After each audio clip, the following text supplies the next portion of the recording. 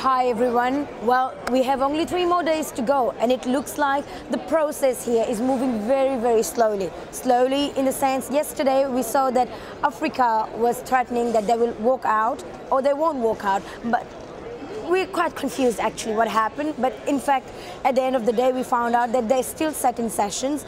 But there was a lot of talk and a lot of dragging of the process because countries are not happy. They're disgruntled. And today we are seeing a lot of frustration because the numbers of NGOs allowed into the conference has decreased. Only 7,000 of them are allowed in the building. And the next few days even fewer NGOs are coming in. So more and more the civil society is being pushed out. They don't get to come into the Bella Center and the government, the ministers and politicians basically get to decide what they come up with in terms of climate change. So really our thinking today is that there has to be uh, speed. They have to pick up the game. They have to come up to the table and start discussing seriously and not discussing old lines and things that are not significant anymore. But really give us the target numbers. Tell us how much finances are coming to uh, come when Friday is here, we need to know how much finances is on the table, and we also need to know what's going on with the targets and actions in developing and developed countries.